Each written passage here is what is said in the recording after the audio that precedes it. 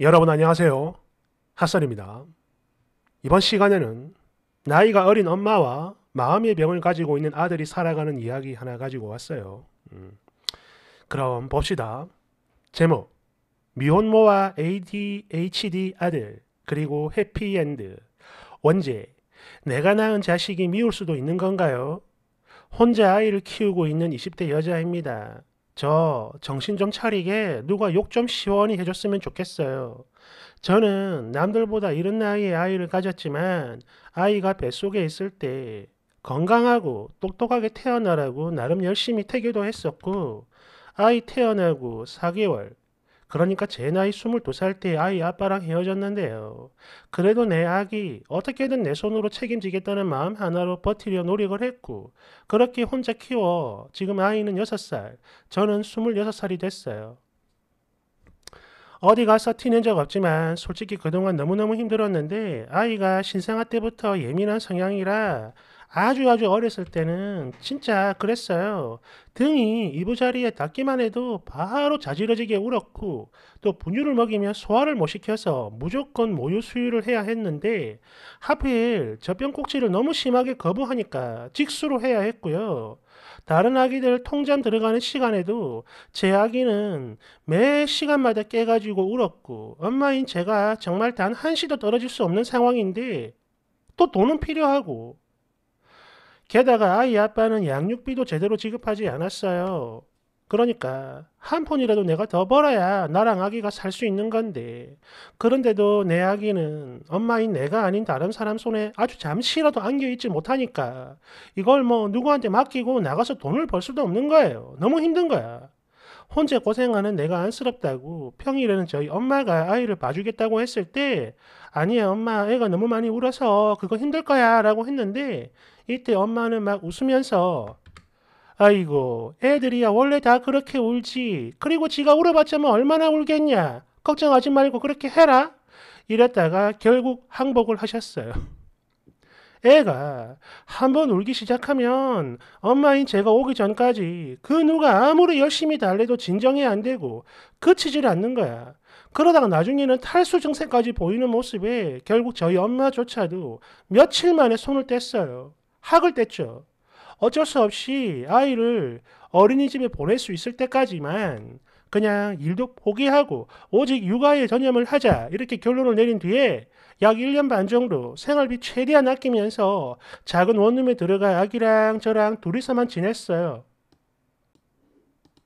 그러다 20개월이 됐고 드디어 어린이집을 보냈는데 이게요. 같은 개월수 다른 아이들에 비해서 저희 아이가 엄마를 유독 너무 심하게 찾는다며 어린이집 적응을 못하는 거예요. 그래도 아침마다 억지로 등원시키는 과정 이거 당연히 그냥 전쟁이었죠. 하루하루가. 근데 나는 돈을 벌어야 하니까 오는 아이 엉덩이까지 찰싹 때려가면서 억지로 보냈는데요. 그 스트레스 때문인지 아이 머리카락이 점점 빠지고 또래 친구들과 어울리지도 못하고 그래도 나는 어쩔 수 없으니까 마음이 찢어져도 꾹꾹 참으면서 그렇게 지냈는데 결국 어린이집 선생님, 선생님으로부터 아이가 분리불안 증상이 너무 심해서 아직은 엄마의 케어가 더 필요해 보인다. 이런 말을 들었고 마치 권고사직을 당하듯 결국 한 달 만에 어린이집을 나와야 했어요. 솔직히 그래요. 이때만 해도 그래 우리 애가 너무 어려서 그래서 이러는 거겠지. 내가 조금만 더 끼고 있다가 한 다섯 살쯤 되면 그때 다시 어린이집이든 유치원이든 뭐 놀이센터든 보내야겠다 이런 생각으로 정확히 1년을 더 아이랑 집에서 지냈고요.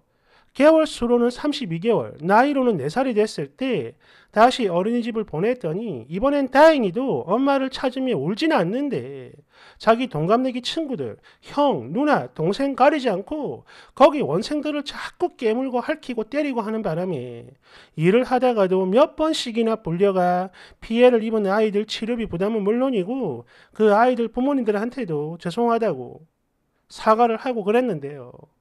그렇게 해도 제 아이는 변함이 없었고 계속 같은 행동을 반복하는 거야. 결국 원생 부모들 항의에 못 이겨 두 번째 어린이집도 몇 달 만에 그만두게 됐어요.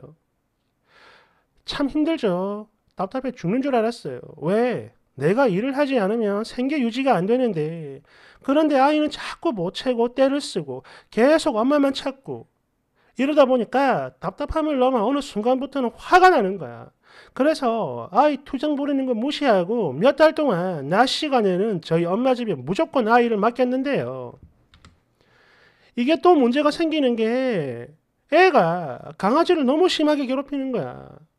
그러면서 엄마 하는 말이 정말 심각하게 내가 돈 줄 테니까 아이 어디 좀 데려가가지고 상담 한번 받아봐라. 이런 말씀에 이건 안 되겠다 싶어서 결국 제 월급의 반 이상을 써야 되는 아동미술치료센터에 등록을 했습니다. 처음엔 좋았어요. 아이가 새로운 환경에 관심도 보이고 적응을 좀 잘하나 싶더라고요. 그런데 그것도 잠시야. 어느 날 센터 측으로부터 아이가 붓으로 선생님 눈을 콕 찔렀다고. 이런 다급한 전화를 받았고 그날 처음으로 뭘까? 아니 내 새끼가 왜 이러는 거지? 내가 얘한테 뭐 큰 잘못을 했나? 아니 내가 뭔 죄를 지었길래 하필 나한테 이런 애가 나온 걸까? 이런 생각이 들었어요. 엄마는 얘가 아들이라서 애가 크면 클수록 너 혼자는 감당이 안 될 거다. 차라리 애 아빠한테 보내라. 양육비 네가 주고 그러면 되지 않겠느냐. 이런 말을 슬쩍 꺼내셨는데 물론 이 말을 듣자마자 반사적으로 엄마한테 화를 냈지만 미쳤냐고. 속으로는 그런 엄마의 제안이 솔깃하더라고요. 또 한편으로는 그래도 내 새끼인데 내가 어떻게 애를 버려 이런 생각으로 아이가 6살이 된 지금까지 버티고 버티고 버티고 온 건데요. 바로 오늘이죠. 지가 좋아하는 맛 아이스크림을 엄마인 제가 작은 스푼으로 두 입 떠먹었다고 엄마인 제 가슴팍에 소리를 지르면서 아이스크림 통을 팍 던지는 거예요. 애가. 그런 아이의 모습을 가만히 보다가 문득 이런 생각이 들었습니다. 아니, 내가 왜 이 아이를 위해서 내 젊은 날을 희생해야 되는 거지? 이런 생각이 번쩍 들더라고요. 순간적으로. 그러면서 막 숨이 안 쉬어지고 그 고통에 몸부림치다가 그냥 쓰러지듯 누워버렸어요. 이제는 그냥 모든 걸 다 포기하고 싶습니다. 내가 낳은 아이를 두고 더 이상 사랑한다는 확신도 하지 못하는데 아니 솔직히 말해서 애가 너무 미워요. 그래서 저는 그래요. 제가 엄마 자격도 없고 비정상인 걸 다 알고 있는데 그래도 여쭤봅니다. 다른 분들도 혹시 내가 낳은 내 자식에게 이렇듯 진심으로 미운 감정을 느낀 적이 있나요? 이제 저는 제 아이가 너무 싫어요. 뒤에 보기 있습니다. 댓글 1번. 님, 지금 한부모 지원 받고 있죠. 그거 상담 치료도 지원 받을 수 있거든요. 지금 당장 주민센터에 문의해가지고 지원 대상 확인하고 신청부터 하세요. 그리고 아이의 심리적 불안은 엄마의 영향이 커요. 그러니 안정이 될 수 있게 많이 도와줘야 되는데. 그런데 정 그렇게 힘들면 그냥 애 아빠한테 보내세요. 어쩌면 아이한테는 아빠가 필요한 시기일 수도 있으니까요. 2번 기질이 타고났구만. 전 남편 성격이 애랑 비슷했죠. 진짜 이거 엄청난 돈, 시간, 노력을 투자해야 할 겁니다. 여하튼 그래 저런 놈들 유전자는 도태가 돼야 되는데 꼭 낳더라고? 안타깝네. 3번 솔직히 사연은 안타깝지만 사회의 입장은 늘 냉정한 법이죠. 솔직히 저런 아이랑 우리 아이가 같은 반이다? 나 너무 싫어요. 미안한데 이게 현실이야. 4번 내가 내가 왜 얘를 위해 내 젊은 날을 희생해야 하나라고 했습니까 지금? 아니 그러면 그 아이는 뭔 죄입니까? 어? 뭔 죄야? 한낱 니들 쾌락 때문에 태어남 당해가지고 거기다 한부모 가정에서 살면서 일단 그지 같은 대접을 받아야 되는 거야? 5번. 저도 지독하게 힘든 아이를 키워봐서 쓰니 마음 충분히 이해합니다.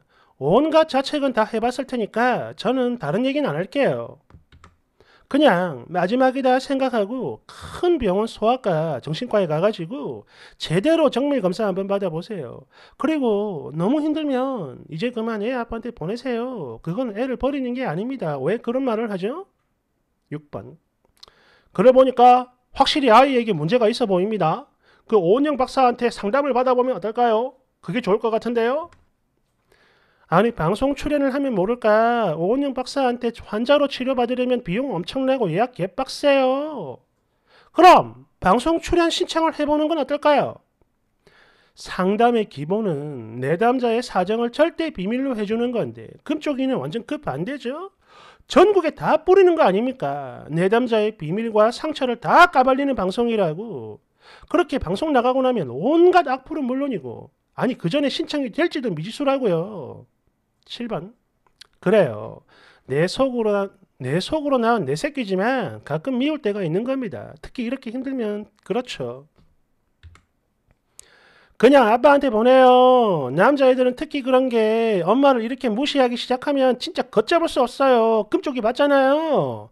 분명 뻔한데 앞으로 점점 더 심해질 거라고. 알겠어요? 추가. 이렇게나 많은 분들이 댓글 달아주실 줄은 정말 몰랐는데 감사합니다. 시간 날 때마다 계속 들어와서 읽고 있어요. 사실 그래요. 저도 엄마니까 설마 내 아이는 아니겠지. 절대 아닐 거야. 이러면서 부정만 하고 싶었던 그 내용들을 댓글로 다 지적해주고 알려주시니까 감사하기도 한데 근데 제 마음이 너무 착잡해서 글을 읽다가 눈물이 또 나왔어요. 사실 미술치료센터 보내기 전에 소아정신과를 먼저 찾아가 봤는데 제 욕심에 순서를 뒤바꿨던 것 같아요. 우선 병원을 가봐야 확실히 알 테지만 ADHD 유전자의 영향이 크다는 얘기는 저도 얼핏 들어봤거든요. 그래서 언젠가부터 곰곰이 생각을 했던 게 이상하다. 애 아빠가 뭐 술 좋아하고 여자 노는 거 좋아하지만 그래서 헤어졌지만 폭력적이거나 다혈질인 면은 전혀 없었는데 왜 이럴까? 그리고 나도 마찬가지로 두드러지는 특성은 없다고 얘기했거든요. 다만 학교 다닐 때 한 자리에 30분 이상을 앉아서 집중하지 못하는 그런 면은 좀 있었어요. 물론 지금이야 평범하게 회사 다니면서 일하는 것에는 아무 문제가 없지만 그래도 뭔가 의식적으로 집중을 해야 하는 순간이 있으면 아직도 시간을 그렇게 오래 유지하지 못해서 혹시나 아이가 이런 엄마를 닮아버린 건 아닌가 더 안 좋게 발현된 건 아닌가 그런 마음이 들기도 해요. 사실 어제도 너무 지치고 속상해서 아이가 싫다는 글을 익명으로 쓰고 새벽에 혼자 아이 잠든 거 바라보다가 그게 또 미안해서 울고 그냥 일상이 맨날 이렇게 반복이 됩니다.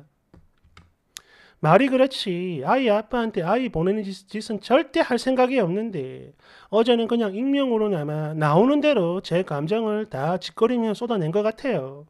죽는 한이 있어도 내 아이는 끝까지 책임을 질 건데 다만 그 과정이 너무 힘들어서 그랬던 것 같습니다. 위로의 말씀 감사하고 그리고 현실적인 조언도 감사합니다. 아직 못 읽은 댓글들은 차차 꼭 다 읽어볼게요. 진정한 후기 있습니다. 댓글 1번. 아 됐고 그냥 아빠한테 보내라고요. 저런 아이는 차라리 아빠 손에서 서열 교육 제대로 받으며 크는 게 훨씬 낫다고요. 2번. 진짜 많이 힘들겠다. 힘내세요, 언니. 3번. 야, 여기 댓글들 너무 잔인하다. 그냥 힘내라고 응원해주면 되는 거 아니야? 왜 이래?